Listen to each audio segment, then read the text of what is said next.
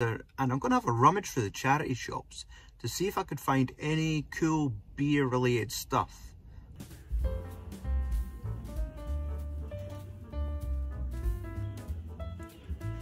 Mel Gibson 1992